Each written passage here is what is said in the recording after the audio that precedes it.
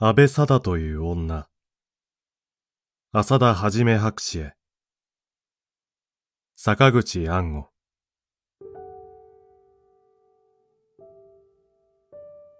お手紙本日回送。嬉しく拝見いたしました。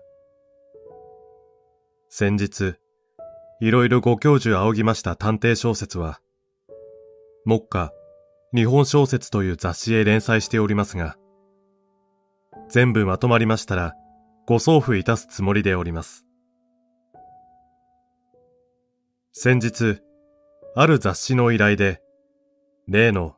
安倍貞さんと対談しましたが、私には非常に有益なものでした。大体、女というものは男次第で成長変化のあるものだろうと思いますが、相手のキッチさんという男には、マゾヒズムの傾向があったと思いますが、長田さんは極めて当たり前な、つまり、一番女らしい女のように思われます。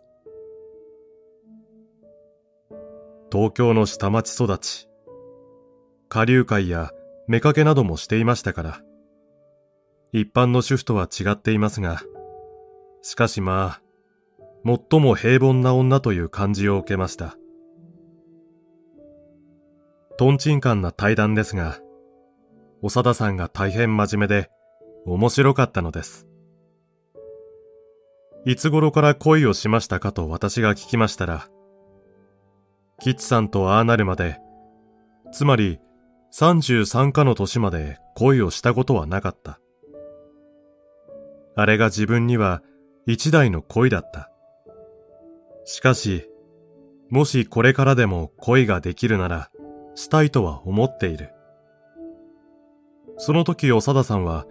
こう付け足して言いました。世の中の大概の女の人は、一度も恋をしないで死ぬ人も多いのだから、私は幸福なのだろう、と。しかし、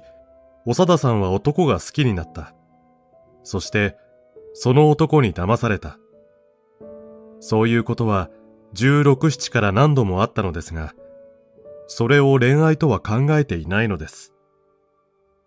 そして、自分の愛する人に自分もまた愛された。相思相愛。つまり、吉さんとの場合だけが恋であり、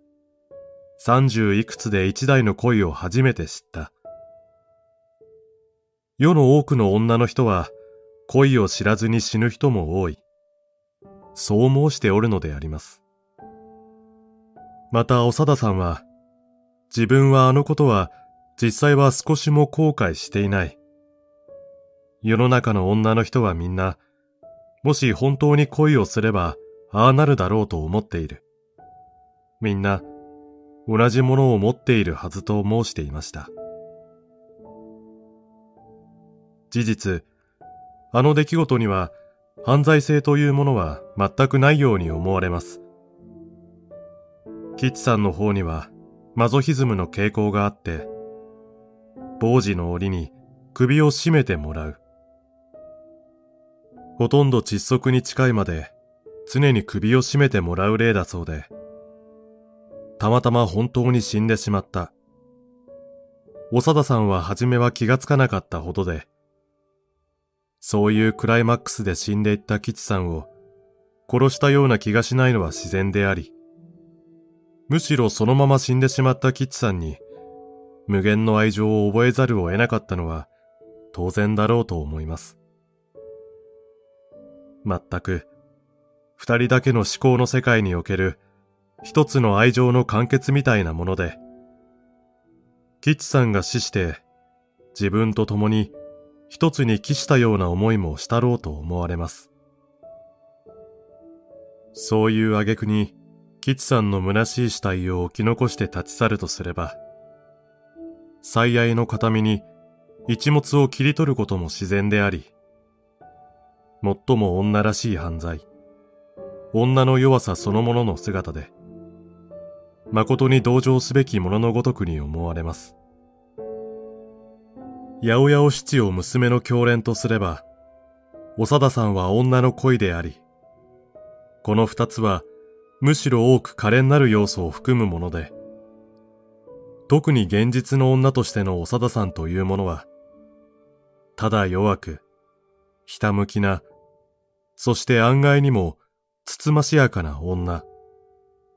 極めて平凡そのものの女。そういう感じの可憐な人でありました。私は、長田さんのような事件は、正しい意味で世間の人々が理解する必要があると考えていますが、大体、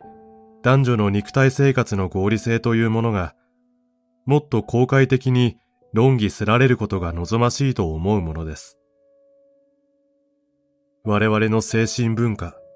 精神上の良心、正義というようなものが、肉体生活の合理性まで隠蔽の上で、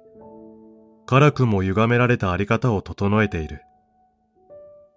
それでは、魂の平衡はあり得ず、健全な精神生活もあり得ない。私の文学の真意は多く誤読されていると思いますが、私はしかし、この過渡期には、まだまだ絶望はしていません。むしろ希望を抱いております。私は精神分析学を高く評価するものですが、我々の精神肉体の合理的な平衡を増大するためには、タブーというものを合理的になし崩しに減らしてゆく。そういう理性的な発掘と建築作業が行われなければならないと思うものです。いずれまた、お目にかかって、ゆっくりいろいろお話を伺いたいと思います。私は31日からおよそ1ヶ月ぐらい仕事のために温泉へ行きますが、東京は伝統がつきませんので、いずれ帰郷の上、お目にかかる日を楽しみにいたしております。